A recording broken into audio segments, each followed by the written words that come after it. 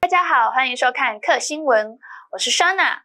随着疫情的升温，带动了一波受惠的题材，现在快筛检测界他们的订单直接大暴增。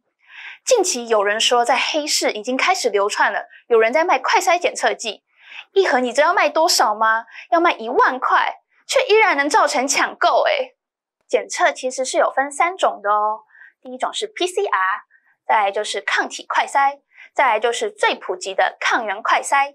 那这边的话都帮大家整理好了，抗原快筛只要十五分钟就知道你是不是天选之人。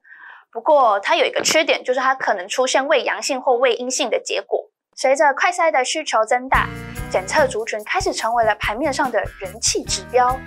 你们都押哪些宝呢？欢迎在底下留言跟我分享。客新闻，我们下次见，拜拜。